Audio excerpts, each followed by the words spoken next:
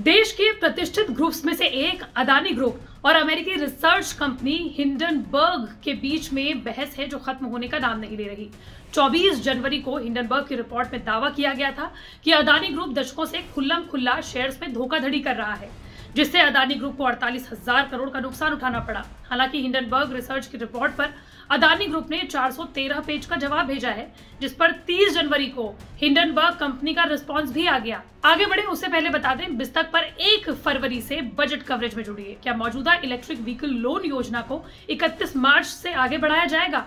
आप अपनी राय हाँ या ना में दर्ज करवा सकते हैं। प्रोवो पर जो हमारे ओपिनियन पार्टनर हैं, लिंक डिस्क्रिप्शन बॉक्स में। बहरहाल, आगे बढ़े तो बता दें कि हिंडनबर्ग रिसर्च ने अपने जवाब में कहा, हम मानते हैं कि भारत एक वाइब्रेंट डेमोक्रेसी है और एक सुपर पावर के तौर पर उभर रहा है। हम साथ ही ये भी मानते हैं कि अदानी ग्रुप भारत के भविष्य के साथ खिलवाड़ कर रहा है। ये ग्रुप राष्ट्रवाद की आड़ में देश को लूट रहा है। हमारा मानना है कि फ्रॉड चाहे जो भी करे, वो फ्रॉड होता है।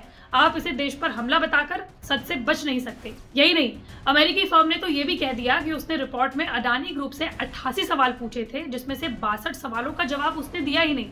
सिर्फ़ 26 सवालों का जवाब ग्रुप ने दिया, लेकिन अडानी की 413 पेज की रिपोर्ट में सिर्फ़ 30 पेज ही हमारी रिपोर्ट से जुड़े हैं। संदिग्ध लेन देन वाले आरोपों पर तो कोई जवाब आया ही नहीं। गौतम अडानी के बड़े भाई विनोद अडानी के मॉरिशस लिंक और चाइनीज़ लिंक्स के बारे में भी कोई जवाब ग्रुप ने नहीं दिया। हिंडनबर्ग रिसर्च ने यह भी कहा कि उसकी रिपोर्ट में आरोप लगाया गया है कि अडानी ग्रुप ने गौतम अडानी के बड़े भाई विनोद अडानी और उसकी विदेशी शेल कंपनियों के साथ अरबों डॉलर की डीलिंग है। विनोद अडानी की विदेश में अड़तीस कंपनियाँ हैं। उनकी मॉरिशस के अलावा यूएई, साइप्रस, सिंगापुर और कई कैरेबियाई कंट्रीज़ में कंपनियाँ हैं। इनमें अडानी ग्रुप के शेयरों और अकाउंटिंग पर सवाल उठते हैं।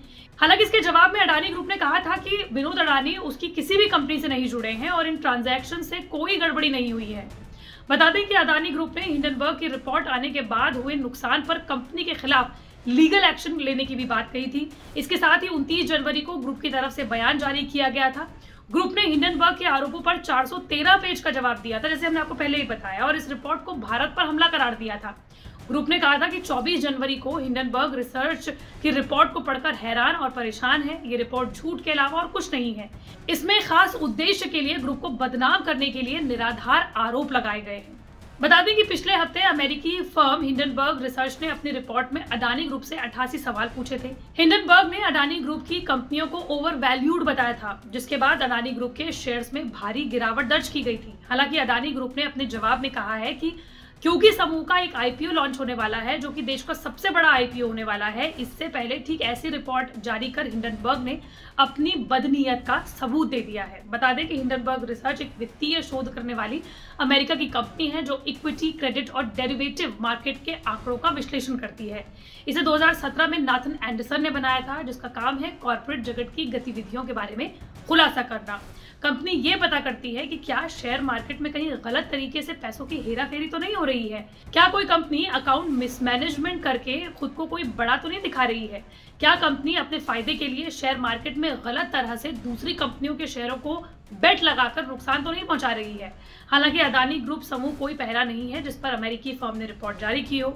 इससे पहले अमेरिका, कनाडा, चीन की करीबन 18 कंपनियों को लेकर भी अलग अलग तरह की रिपोर्ट को प्रकाशित किया गया है। जिसके बाद काफ़ी घमासान मचा। ज़्यादातर कंपनियाँ अमेरिका की ही थी, लेकिन अब भारत की अडानी ग्रुप को लेकर जिस तरीके से ये रिपोर्ट आई है, उसने वाकई में अडानी ग्रुप के बीच में खलबली मचाकर रख दी है। आपका इस रिपोर्ट को लेकर क्या कुछ कहना है? हमें कमेंट बॉक्स पर ज़रूर बताएँ।